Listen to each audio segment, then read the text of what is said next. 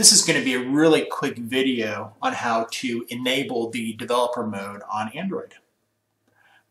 All right, the first thing you're going to want to do is go into your settings options. So you can scroll down from the top, probably the easiest way to get to it. Click on the settings icon. And then scroll down the your settings menu till you get to the option that says About Phone. And tap on that.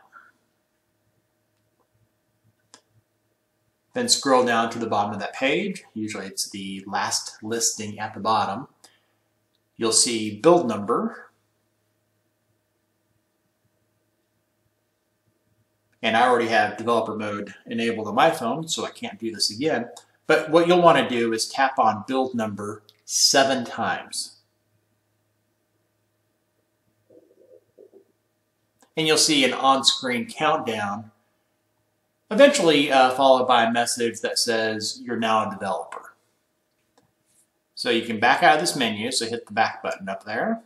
And right above About Phone, you'll see the uh, listing there for developer options. Tap into that, and you'll have a whole bunch of listings that you may or may not be aware of.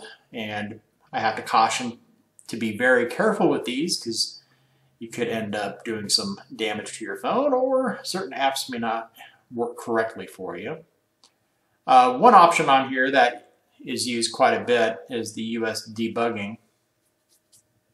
And if you have a USB connected to your personal computer, for example, it may require that you have this, this USB debugging turned on.